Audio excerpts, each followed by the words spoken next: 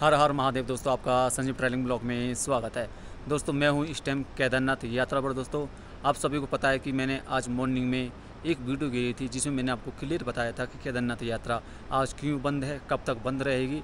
लेकिन यात्रियों के बार बार मेरे पास क्वेश्चन आ रहे हैं कि यात्रा कितने दिन तक बंद रहने वाली है, क्या हादसा हुआ? यात्री बहुत ज़्यादा घबराए हुए हैं दोस्तों। तो अब शाम के पाँच बज रहे हैं और आज है दो सितंबर, ठीक है? दो सितंबर के शाम के पाँच बज रहे हैं और पहले आपको मौसम दिखा देता हूँ, देख सकते हैं मौसम किस प्रकार है, कितना सुहाना मौसम है। बारिश बंद हो चुकी है। जी हाँ दोस्तों, दो घंटे हो चुके हैं बारिश को, बारिश बंद हो चुकी है दोस्तों। बाबा के दर्शन के लिए सामने, बाबा केदार का मंदिर है, दर्शन कीजिए और हर हर महादेव कमेंट में ज़रूर लिखते जाइए और सामने देख सकते हैं, चारों तरफ़ फॉग ही फॉग है। जी हाँ दोस्तों चारों तरफ़ फॉग ही फॉग है दोस्तों, और कितना सुहाना मौसम है दोस्तों। ठंड बहुत ज़बरदस्त है क्योंकि मौसम लगातार तीन चार दिन से लगातार खुला हुआ था और बहुत ज़्यादा गर्मी थी दोस्तों। रात को ठंड नहीं थी, लेकिन आज सुबह से बहुत कड़ाके की ठंड पड़ रही है, देख सकते हैं। मुझे भी ज़्यादा ठंड लग रही है क्योंकि अब तो मैं सिंगल टी शर्ट में हूँ, क्योंकि मेरी जो जैकेट है वो भीज गई है, इसलिए सिंगल टी शर्ट में आया हूँ दोस्तों। अब बात करते हैं कि यात्रा कितने दिन तक बंद है दोस्तों। यात्रा केवल बारिश की वजह से ही बंद थी जी हाँ दोस्तों, कोई बड़ा हादसा नहीं हुआ, कुछ प्रॉब्लम नहीं है, पहले बता देता हूँ। बहुत से आपने देखा होगा, यूट्यूबर बताते हैं कि दो दिन के लिए यात्रा बंद है, पाँच दिन के लिए यात्रा बंद है। इतने यात्रियों की डेड बॉडी निकलनी है, ऐसा कुछ नहीं है यात्रा पर। केवल आज के लिए यात्रा बंद थी दोस्तों। अगर कल को बारिश कंटिन्यू पड़ती है तो आपके कल को यात्रा बंद रह सकती है। लेकिन अगर जैसा मौसम इस टाइम है, बारिश बिल्कुल भी नहीं है, बंद हो चुकी है। रात को एक बूंद भी बारिश नहीं पड़ती है। तो आपको मॉर्निंग में सोनप्रयाग से यात्रा को रवाना कर दिया जाएगा। जी हाँ दोस्तों, बहुत सारी यात्रियाँ जो इस टाइम सोनप्रयाग में हैं और जो अब इंतज़ार कर रहे हैं यात्रा खुलने के लिए। सरकार इसलिए करती है, बारिश में यात्रा बंद, क्योंकि आप सभी को पता कि अभी तो आपदा ही है और कम से कम दसियों जगह पूरी पूरी सड़क गायब है और आपके लिए सरकार ने दूसरा रास्ता तैयार करके आपके लिए खोल, सॉरी, रास्ता खोल दिया। जी हाँ दोस्तों, दूसरा रास्ता आपके लिए बना बनाया गया और फिर आपके लिए रास्ता तो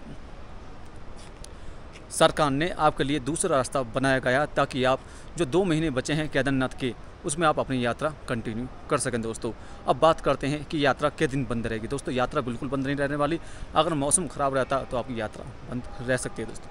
अब बात करते हैं कि सोन प्रयाग जब हम आ जाएँ तो सोन प्रयाग से गौरीकुंड हम जा सकते हैं या नहीं जा सकते? जी हाँ दोस्तों आप सोन प्रयाग से बिल्कुल भी आगे नहीं जा सकते। जी हाँ दोस्तों सोन प्रयाग से आपको मॉर्निंग में ही आपको आगे रवाना कर दिया जाएगा, वो भी बारह बजे तक। तो जी हाँ दोस्तों, अगर आप बारह बजे के बाद में केदारनाथ आते हैं तो आपको आगे नहीं जाने दिया जाएगा।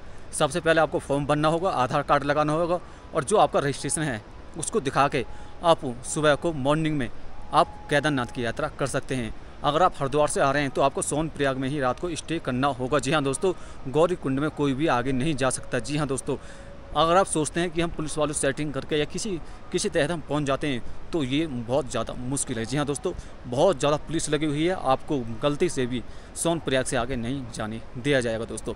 अब बात करते हैं कि केदारनाथ में इस टाइम माहौल कैसा है? दोस्तों, अभी मैंने आपको दिखाया था कि मौसम बढ़िया है, यात्री आज बिल्कुल भी नहीं है। हेलीकॉप्टर सर्विस आज बंद है।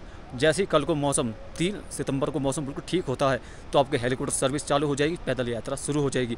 अगर ज़्यादा बारिश पड़ती है रात को तो आपकी जो यात्रा वो बंद रहेगी। जी हाँ दोस्तों, अगर बारिश नहीं पड़ती है तो आपकी जो यात्रा वो खुलती जाएगी। अगर बारिश पड़ती है तो यात्रा आपकी बंद रहेगी। जी हाँ दोस्तों, और बहुत से यात्री सोच रहे हैं कि हम अपने घर से यात्रा के लिए निकलें, ना निकलें, क्योंकि उन्होंने बहुत सी ऐसी वीडियो देखी है जिसमें यात्री घबराए हुए हैं कि डेड बॉडी निकल रही हैं, बहुत ज़्यादा परेशानी है बहुत ज़्यादा स्थिति बेकार है, ऐसा कुछ नहीं है दोस्तों। आप केदारनाथ यात्रा पर आइए, ऐसे ज़्यादा कुछ परेशानी नहीं है दोस्तों। देख सकते हैं, एक बार और आपको दिखा देते हैं, बाबा के दर्शन। आप बाबा के दर्शन कीजिए दोस्तों, परेशानी ज़्यादा नहीं है, श्री केदारनाथ यात्रा में दोस्तों। हाँ ठंड ज़बरदस्त है, बहुत ज़्यादा ठंड पड़ी हुई है दोस्तों।